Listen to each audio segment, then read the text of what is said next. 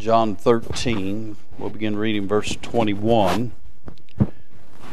This is commonly referred to as the Last Supper of our Lord. It's not the Last Supper, there's a marriage supper a coming. Uh, just thought I'd throw that out.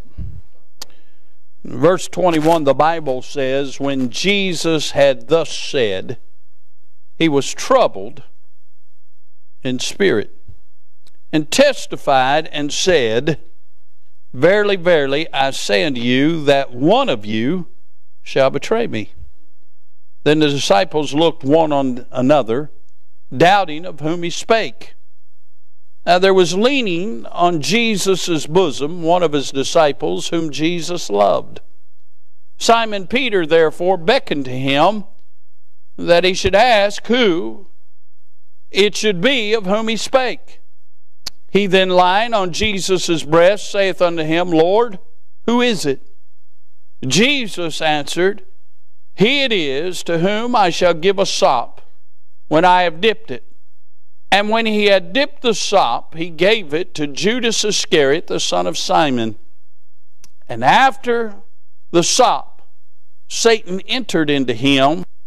Then said Jesus unto him, That thou doest, do quickly. Let's pray. Father, we bless you. We sure are thankful for amazing grace.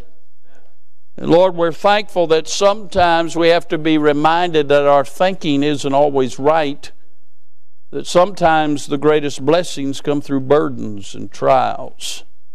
Lord, we are reminded that you do all things well that, Lord, if you allow anything to come into our life, it comes into our life for the praise, honor, and glory of our darling Savior. God, I pray that regardless of whether it's a crown of gold or a crown of thorns, we'd wear it well to your praise. Now, Father, I pray you'd bless now the reading of the Word of God. Help us now to ever draw closer to God, that you might draw closer to us. We do pray for those that are sick. We certainly miss folks when they're sick and not able to be with us. I pray you'd touch them. We pray for those that are traveling, you'd give them traveling mercies. Lord, we are so grateful that, Lord, our kids had a wonderful week at camp, and most grateful that Miss Maddie trusted in Christ and now is saved on her way to heaven. Now, Lord, we pray in a crowd this size, if there's somebody here unsaved, that today would be the day of their salvation. Father, we pray for your children. Lord, there's no telling the needs that folks have in their lives, but we know that all can be met in Christ. And so, Father, I pray you'd meet every need of every heart. Send revival. God, do a great work in our midst today. And Father, we'll bless you for it. Use this unworthy vessel now We will not fail to praise you for your goodness, for it's in the wonderful name of the Lord Jesus we ask these things. Amen. And Amen. Here we find several things. Uh, first of all, we find that Jesus is troubled. Look again in verse 22. When Jesus, or verse 21, and when Jesus had thus said, he was troubled in spirit. A lot of times we get in our minds that Jesus was. Uh, God manifest in the flesh that he was a superman, that he had no problems. Yet, if you read the Word of God, you'll find that Jesus wept. You'll find that Jesus uh, felt pain. You'll find that Jesus went hungry. You'll find that Jesus had no place to pillow his head. He was homeless. Uh, and here we find he's troubled uh, in spirit. My dear friends, when the Bible says he was touched with the feeling of our infirmities, uh, yet he was without sin, uh, friend, he knows what you're going through. Uh, when you're hurting, he knows what you're feeling. Uh, friend, he's faced it, uh, and he's a God that we can look to and depend on. Uh, we find Jesus was troubled. Here we also find Jesus testifies.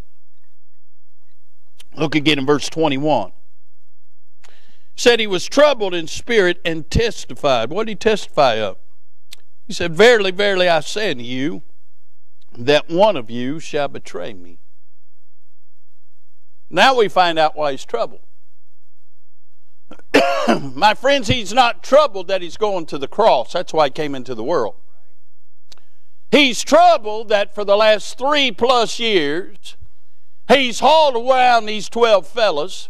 He's done many marvelous miracles before them. Uh, he has preached uh, before them. Uh, he has done everything that it would take necessary for them to believe on him as the Lord, uh, and yet one of them hasn't.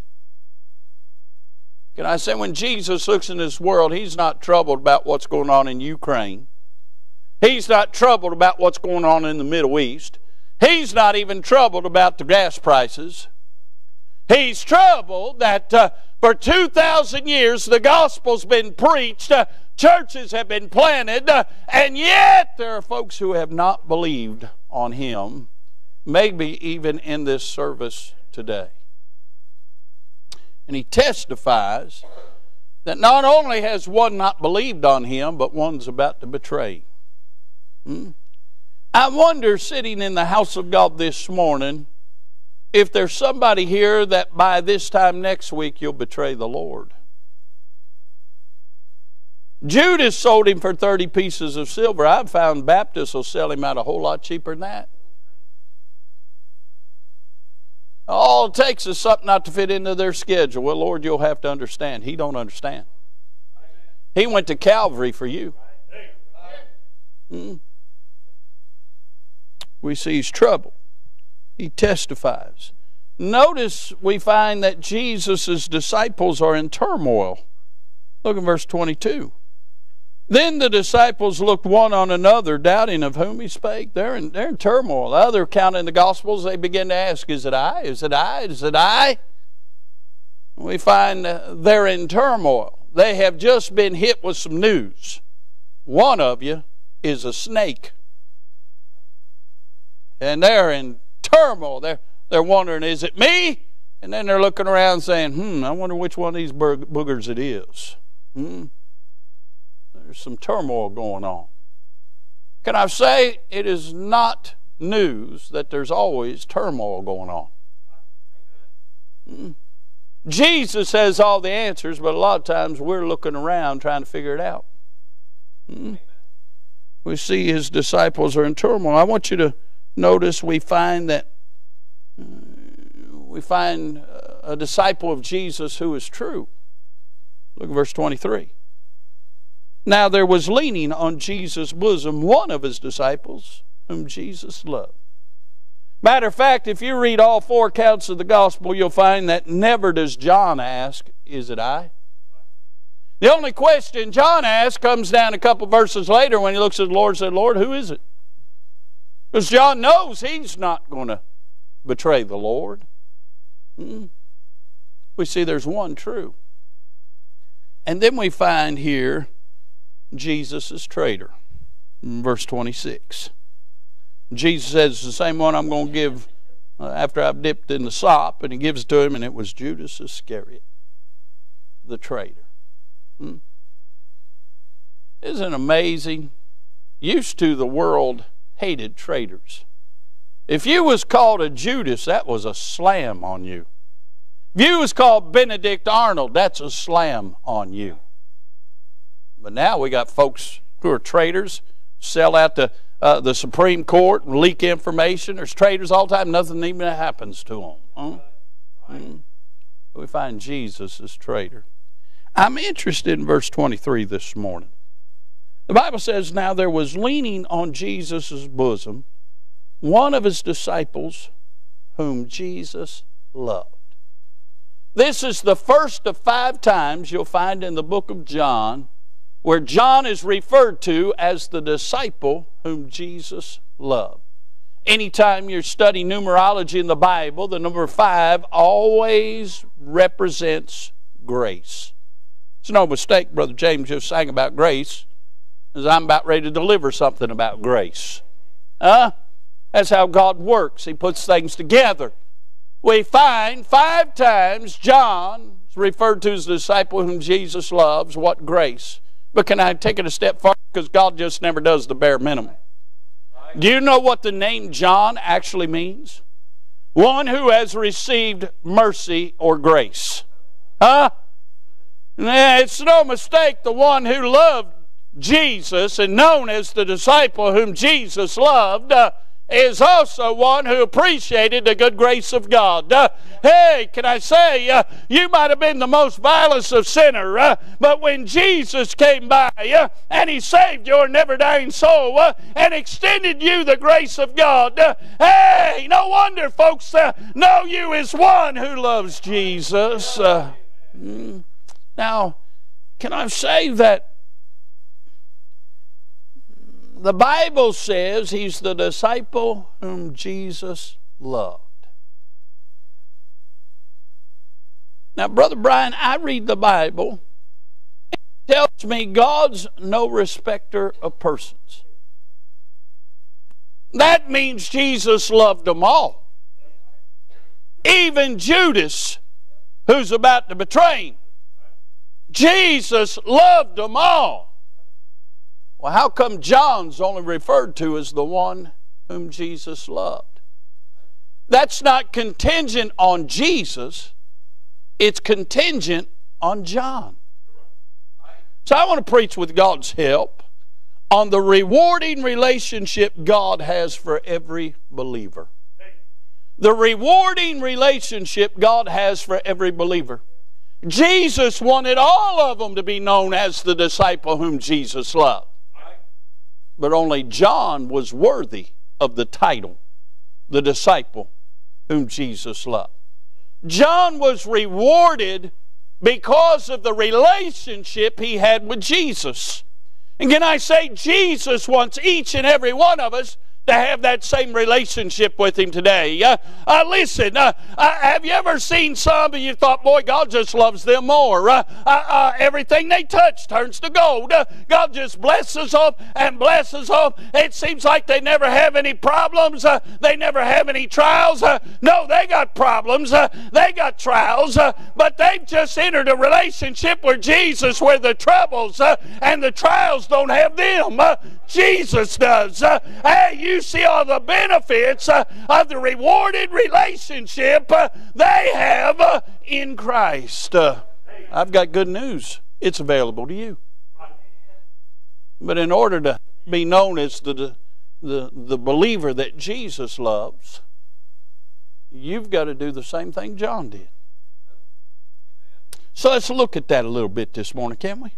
Well, I want to have the best relationship with Jesus I can have. And if John's known as the one that he loved, I want to, I want to have a relationship with him like John did. I don't want to have a relationship with him like Thomas. I don't want to be known as the doubter. I certainly don't want to be Judas, and thank God I'm not. I'm saved. Judas went to hell. Huh? But I don't want to be like some of them. You never heard anything about them anymore. Uh, I certainly don't want to be Peter. I'm, i identify with Peter a lot. I put my foot in my mouth a lot. I'm hot headed a lot. Uh, I don't want to be that guy. I want to be John. Uh, so, how can we have this rewarding relationship? God's got it for all of us. How can we have it? Well, first of all, you got to understand John forsook all to follow him. Mm. Can I say we can just stop right there? That's a lot of our problems right there. Boom. Answer the problem. See, John was a very successful fisherman. John and his brother James, they were the sons of Zebedee. And can I say, Zebedee was one that God had a special portion for. God had blessed. Uh, and hey, they had a successful fishing business. When Jesus came by and said, Follow me, John said, Okay. He turned his back on it all. You find later, Peter goes back to fishing. You'll find John forsook it all to follow Jesus. Can I say, if you're going to have a special relationship with Jesus, you've got to forsake it all.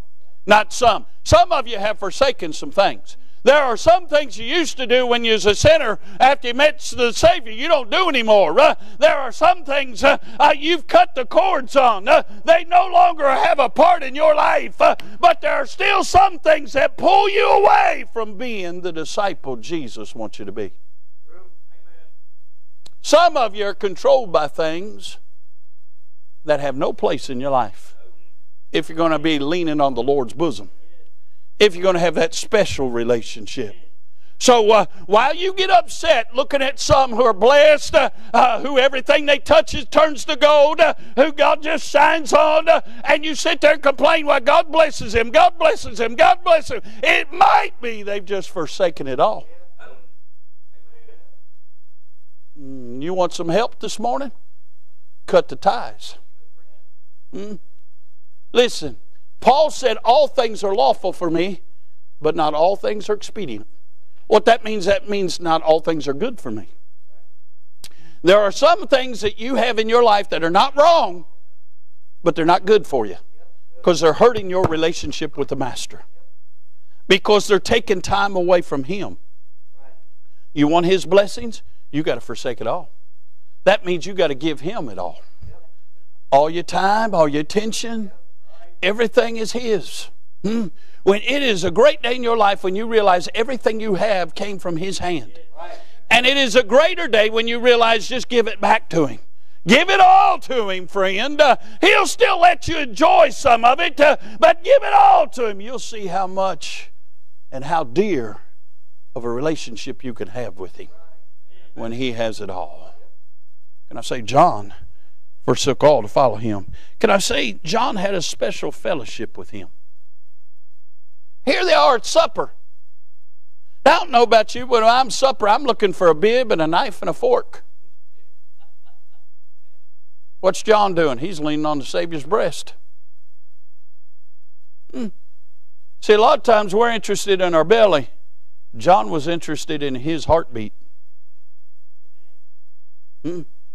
Can I say to have that special relationship anytime there's a pause, it's a good time just lean your head over on his bosom. I promise you, somewhere in that night, John ate. But John got more on the Lord's bosom than he ever got off the plate. And a lot of times we're interested about things around us that don't matter. Uh, and here's a good barometer. Uh, uh, ask yourself if what you're doing right now, 100 years from now, is even going to matter. But I promise you, when you're leaning on His bosom 100 years from now, you'll still be blessed for it. Mm. Uh, a lot of times we've got so much going on and so many things that we put so much attention to that 100 years from now, it isn't going to matter. It isn't going to give a, a flip about anything. But every second you spend with Jesus matters. Mm. had a special fellowship with the Lord. Can I say John was part of the inner circle? Now, again, Jesus loved them all the same. But there were some times Jesus only took Peter, James, and John with him. They're called the inner circle. They had a special relationship with the Lord. Can I say, the night that they, they come to betray him, Jesus went up to the, to the mountain to pray. Who did he take? Peter, James, and John. Hmm? Uh, can I say Peter, James, and John was on the Mount of Transfiguration? They got to see him in his glory before they saw him at Calvary. I'm telling you, friends, John had a special fellowship with the Lord. There are some people that God shows special insights and special things to because of their special fellowship together. Hmm? I've heard preachers say, Well, I wish God would show me something like that. Well, spend more time with Him. You're telling on yourself. Hmm? Uh, I had a preacher one time say, What book did you get that out of? The King James Bible? That's true. And some of you get that thing I sent out on Sunday morning. I've had preachers ask, What book do I get them out of? Hmm? And then, and then there's a whole host of them preachers. They think that's what I'm preaching on. Everyone, I say I can't preach on that. I send it to. I don't know how many people in the church. I can't get up preach on it. But J.D. Walker preaches every one of them.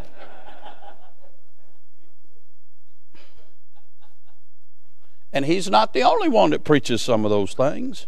But I have, I've had preachers say, Where'd you get that? Well, the Lord gave it to me. From I'm just reading the Bible and God gave it to me. Uh, that preacher say, Preacher, you need to put all that stuff in a book. Why? You're stealing it now. Why do I have to put it in a book? John had special fellowship with the Lord.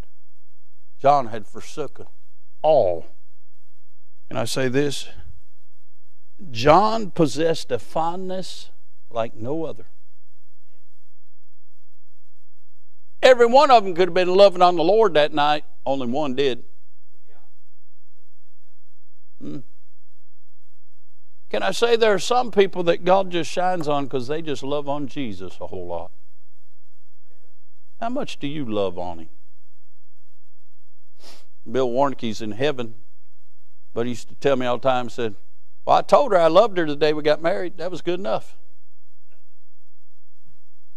That's what he said about poor Miss Eloise.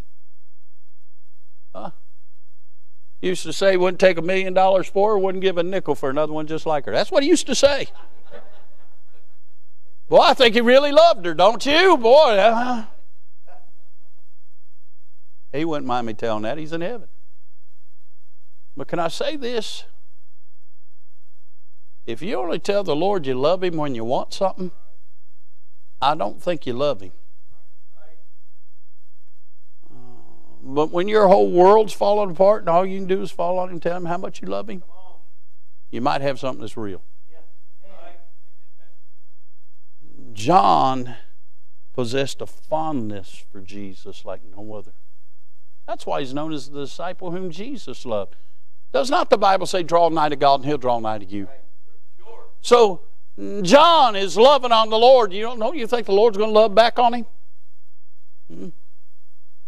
Hmm. Well, I want that kind of relationship, don't you? You can have it.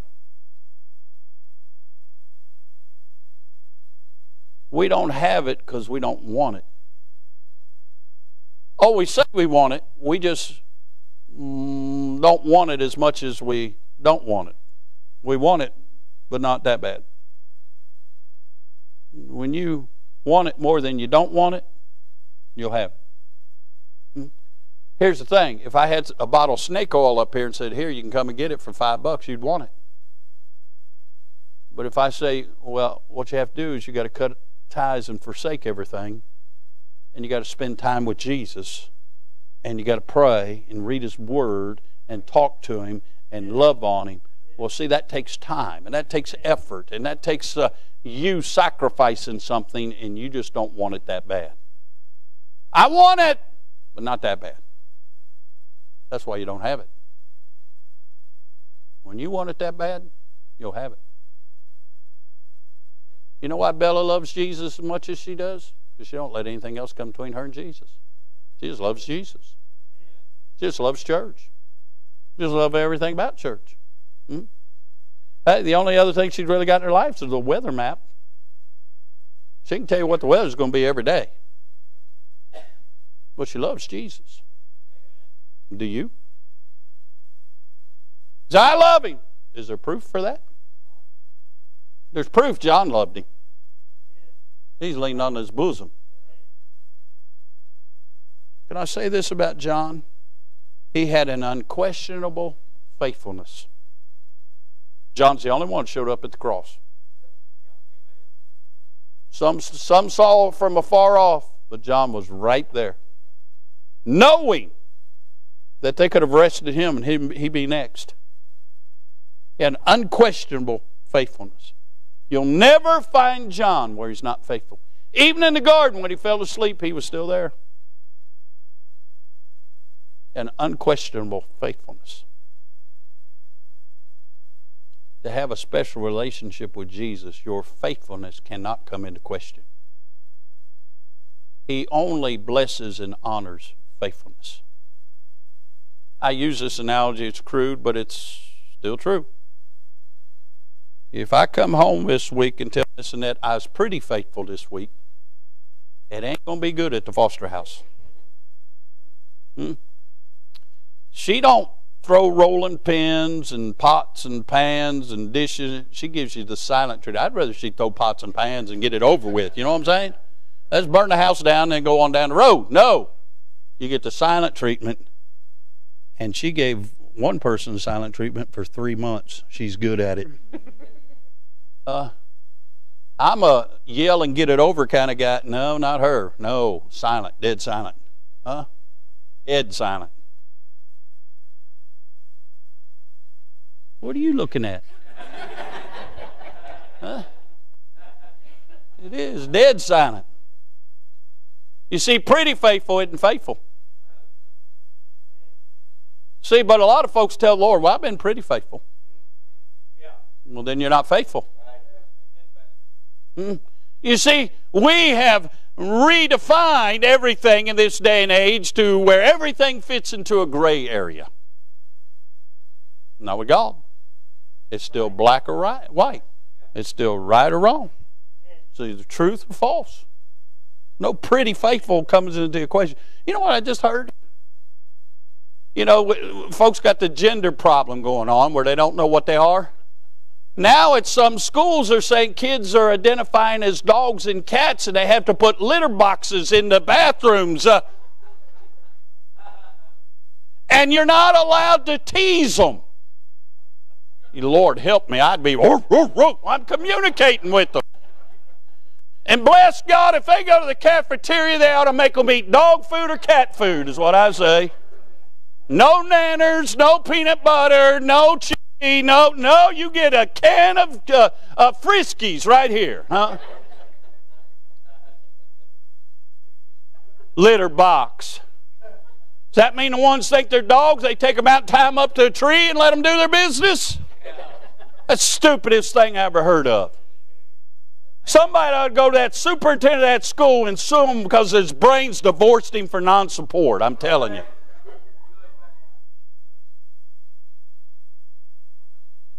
We pander to people. Well, I'm telling you, God doesn't pander to people. We'll either do it the way God said or we'll suffer. God had an, uh, John had an unquestionable faithfulness. And the reason a lot of us don't have the special rewarded relationship with Jesus that He desires for us is our faithfulness comes into question. Even Thomas wasn't there the first night he appeared to the disciples after resurrection. Hmm? You know why I hate missing church? I'm afraid something will break out when I'm gone. Right. That's why when I had surgery, uh, uh, my cancer surgery on Monday, I was in church on Wednesday. I didn't want to miss. Mm. There's sometimes you're providentially hindered where you have to miss. God understands that. But He doesn't understand when you put everything before church. He just don't understand it. And that's why you don't have that rewarded relationship. Mm. Can I say this about John? He was given a very distinctive future. While at the cross, Jesus looked at his mother and said, Mother, behold thy son, and looked at John. He looked at John and said, Behold thy mother. From that moment on, John took care of the Lord's mother. What a privilege. See, Jesus was her firstborn son. I said firstborn. She did have other sons. Read Mark, Mark chapter 9, you'll find she had other sons and had some daughters. I don't know whatever happened to all them.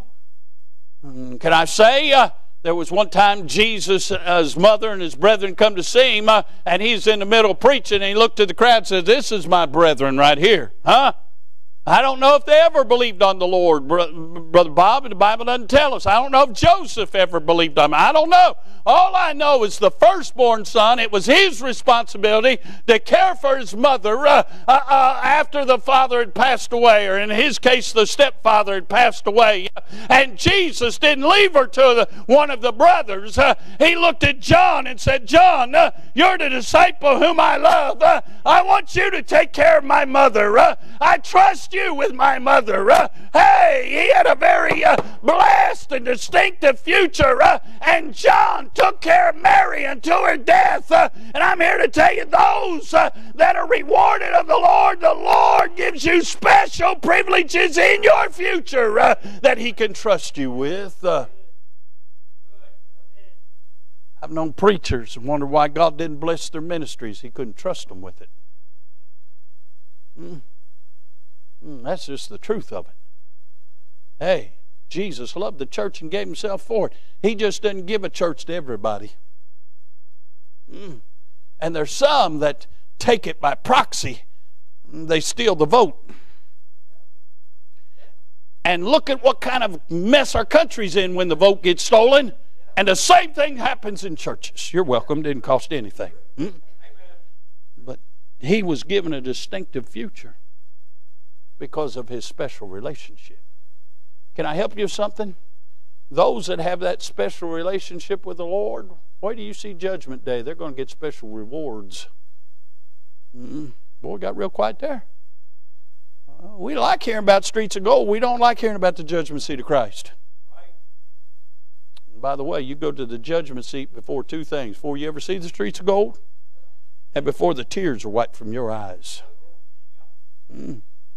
Can I say this? John was granted insightful favor. It was John who gave us the book of Revelation. It was John who was caught up to the third heaven to see everything in the future before it ever came to pass. It was John that he said, pin these down in, in, in, the book. It was John who got to see the bride already. John who got to see New Jerusalem. God got, uh, John got special insight and favor because of his special relationship with the Lord. Can I say this? John suffered an easier fate than the other disciples. Only John died of natural causes. The others were martyred, other than Judas who hung himself. Can I say something? Even those that have a special relationship with the Lord die different than those that don't have that special relationship. Now, listen the relationship that Christ had with John, he desires for every believer. It's exemplified in John, but available to all of us. can I say, though it was available to all of them, they refused to embrace him like John did. And Judas rejected him altogether.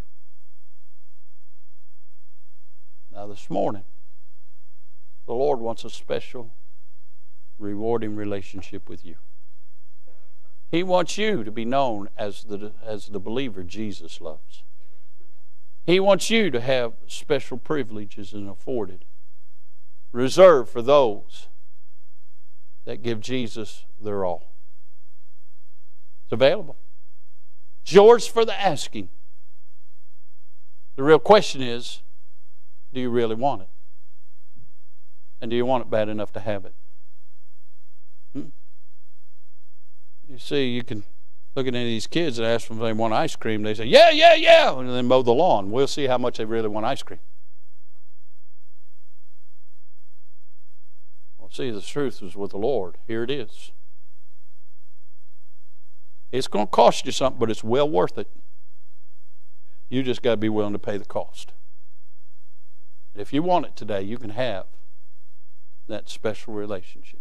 Well, I want to be known as one Jesus loves. I don't want to limp into heaven.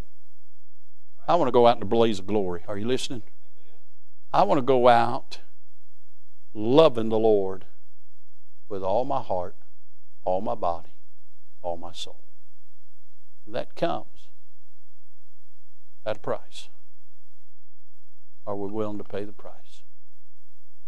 But, friends, the reward far outweighs the price you have to pay. I've used this analogy over the years. I'm going to tell it because the Lord just put it on my heart. Brother Phil, this is the analogy I told Brother Jeffrey in Mississippi the night before God gave me the towel message. There was a little girl and like little girls, she liked to play dress up. And her mama had got her a set of plastic pearls, and she loved those plastic pearls. She thought that made her feel like a big girl. Where daddy come home from work one night, and she hugged her daddy like she did every night, and the daddy was telling her how good it was to see her. And the daddy asked her, he said, Baby, why don't you give me those pearls? Well, like any child would do, she said, Oh, no, Daddy. Oh, no, I love my pearls, not my pearls. You can, you can have my Barbie doll, you can have this, you can have that, but not my pearls. Every night, Brother Donald, he'd come home and he asked that little girl for the pearls. Every night she wouldn't do it. For two weeks, Miss Marcy. Finally, one night he comes in and the little girl comes out of her room. She looks all dejected and pouty like little girls can do. Not naming any names. Brittany. but she came up to her daddy and she says, Here, daddy, if you want the pearls that bad, you can have them. And she gave her daddy the plastic pearls. And immediately her daddy reached in, her po- in his pocket, he pulled out a real set of pearls and put them around her neck. You see, he had them from the first day. But she had to be willing to give up the junk for the real thing. And can I say, the Lord has something wonderful for you. But you've got to be willing to give up the junk. And when you do, you'll be so satisfied with what He puts on you that you'll forget all about what you had to give up. I wonder, do you really want the rewarded relationship that God has for you? Because, friend, there's nothing like it. Once He's blessed you that way. Let's all stand, Brother Ray. Come get a song of invitation. If you're here today and you're not saved, why don't you come? We'd love to take the Bible and show you how to be saved. There's nothing like being saved. But if you're saved, don't live beneath your privileges as a believer. Why don't you let God bless your life the way He really wants to? They're picking out a song. Let's pray. Father, we bless you. Thank you for the Word of God. Thank you for the example of John in the Scriptures. God, I pray you'd burn in our heart a desire to love you like John did. God, regardless of any of the rewarding or blessing that comes from you, God, what you've already done in our lives, we ought to desire and love you. And Lord, long to be in your presence every day of our lives. Now, Father, bless in this invitation. Speak to hearts. God, certainly for somebody lost, I pray you'd convict them and save them. But save folks, I pray you'd convict them to want to live as Christ would have them live. Well, thank you for it in Jesus' name. Thanks to listeners like you, IBC has had over 100,000 views on our YouTube channel. If you haven't already, subscribe today. And as always, thanks for listening.